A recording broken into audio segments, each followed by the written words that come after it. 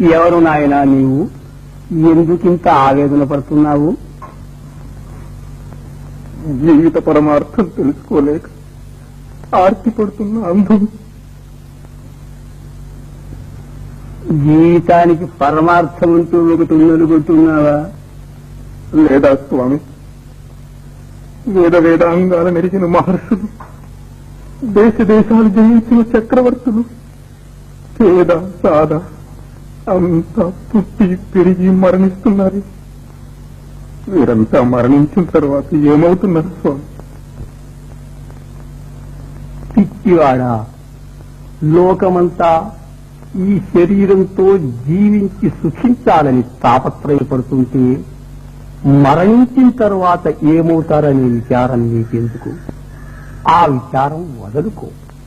నీకు అష్టైశ్వర్యాలు కలిగే మార్గం చూపిస్తాను. అనుభవించు. వద్దు స్వామి అవన్నీ అనుభవించి క్షణికములని క్షుద్రములని తెలుసుకున్నాను. వాటిపై నాకు వాంఛలేదు నన్ను బాధిస్తున్న ప్రశ్న ఒక్కటి. మనం ఎక్కడి నుంచి పుడుతున్నాం? ఎక్కడికి పోతున్నాం? ఈ సందేశం నివారించండి. ఈ రహస్యం తెలుసుకోవటానికి దేవతలకే సాధ్యం కాలేది మానవులకు సాధ్యమవుతుందా? మీ వంటి మహానుభావులే సాధ్యం కాదంటే మాకు దిక్కెవరు స్వామి.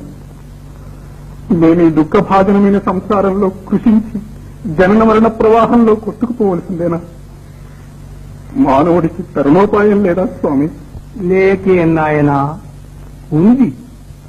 ఈ శరీరం విద్యా విద్యలు రెంటితోనూ పుట్టింది. సంసారయాత్రకు మోక్షయాత్రకు ఇదే సాధనం.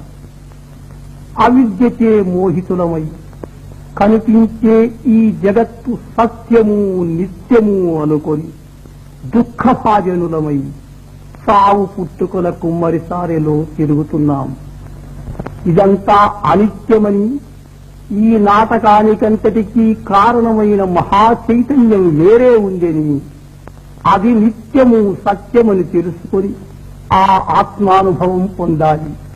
అదే జీవిత పరమార్థం. ఆ ఆత్మానుభవం నాకెట్లా కలుగుతుంది స్వామి? భక్తి మార్గంతో కొందరు జ్ఞాన మార్గంతో కొందరు సాధించారు. కానీ జీవన్ముక్తికి రాజయోగమే సులభోపాయమని పెద్దల మతం. రాజయోగం. నాకెవరు ఉపదేశిస్తారు స్వామి?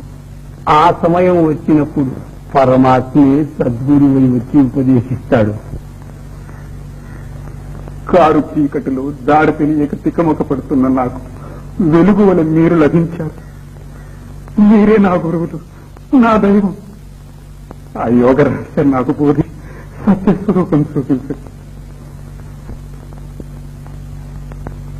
అతి గుప్తమైన ఆత్మ విద్యను నీకు బోధిస్తున్నాను. సావధానుడమై విను. సత్తాన్ని కట్టేస్తే కాని స్వర్ణం కానట్టు. మనస్సును కట్టివేస్తే కాని సత్యము కనిపించదు.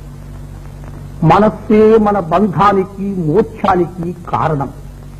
మనస్సు స్వాధీనము చేసుకుంటే మనకు స్వాధీనము కానిదే లేదు. ఆ సాధనే యోగం అంటారు సాంగయోగాన్ని క్రమంగా సాధించి చిత్తవృత్తుల నడచి సమాధి స్థిరుడమైనప్పుడు నీ మనస్సుకు అనంత శక్తి కలుగుతుంది. అప్పుడు నీవు చేయలేని కార్యమే ఉండదు. నిన్నింతవరకు తన చేత చిక్కించుకొని ఆడించే ప్రకృతి నీ స్వాధీనమవుతుంది. మోక్షం అంటే అదేనా స్వామి? కాదు నాయన అది మోక్షానికి మొదటి మెట్టు. ఆ అనంత శక్తి ప్రలోభానికి మోసపోక సుస్థిర చిత్తుడవై ధ్యానిస్తే స్వయం ప్రకాశము సచ్చితానందమయము శాశ్వతమునైన స్వస్వరూపానుభవం కేవల జ్ఞానరూపంగా నీవు అనుభవిస్తావు తత్వమసి అంటే అది. అప్పుడు నువ్వు నేను ఒకటి. అది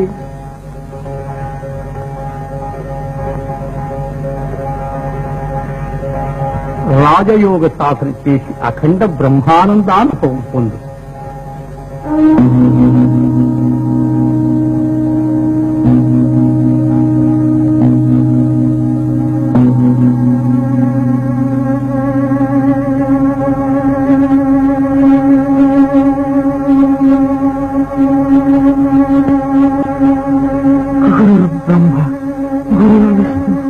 గురుదేవో మహేశ్వర.